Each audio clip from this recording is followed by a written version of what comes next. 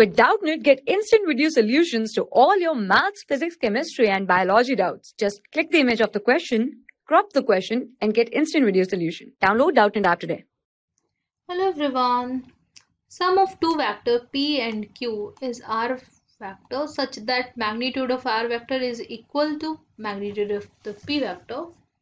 The angle that the resultant of 2p vector and q vector make with q vector. Very simple. Now if you see, let us take uh, p vector and q vector. So let's suppose this is the p vector, a q vector and this is the p vector. So this will be the resultant r vector. Right? And uh, the magnitude of the p vector and uh, r vector are same. Right? And now if I add q vector and 2p vector, right? So this is the 2p vector. Then, then let's suppose the resultant is this r dash. And we have to find out this angle alpha. An angle between P and Q, let's suppose is theta and theta. Very simple. Now uh, it is given that the magnitude of R and P is same. So I will write the magnitude of r is equals to under root of p square plus q square plus 2pq cos theta.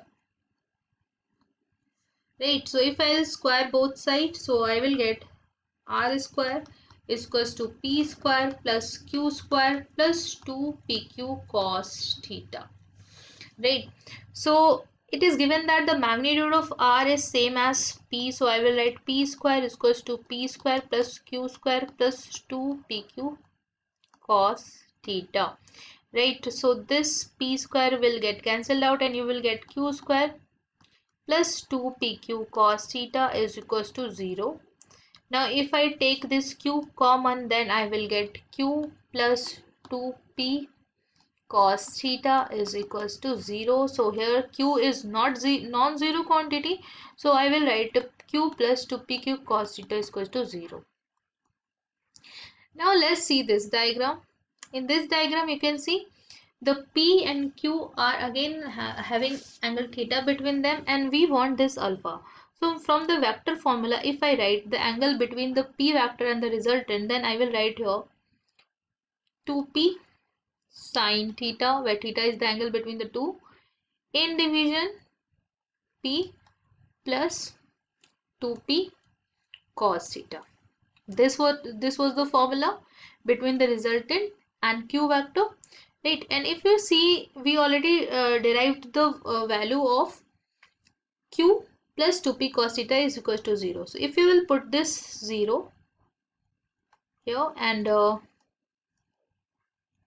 is equals to tan alpha right? So you can see here the tan alpha is approaching to infinity right? So tan alpha approaching to infinity it means that the theta the angle between the q vector and the resultant of p vector and q vector is 90 degree. Very simple. So this will be our answer. Thank you for class 6 to 12, IIT JEE and NEET level. Trusted by more than 5 crore students. Download Doubtnut App today.